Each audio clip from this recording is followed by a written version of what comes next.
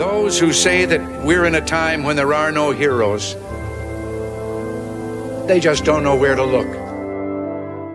The sloping hills of Arlington National Cemetery, with its row upon row of simple white markers bearing crosses or stars of David, they add up to only a tiny fraction of the price that has been paid for our freedom.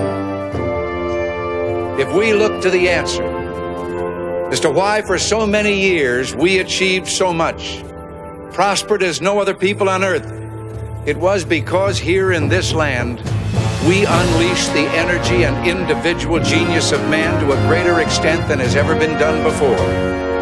Freedom and the dignity of the individual have been more available and assured here than in any other place on earth. The price for this freedom at times has been high, but we have never been unwilling to pay that price.